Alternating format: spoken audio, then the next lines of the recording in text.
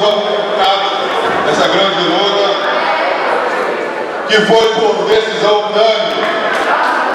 O vencedor é o do pobre preto.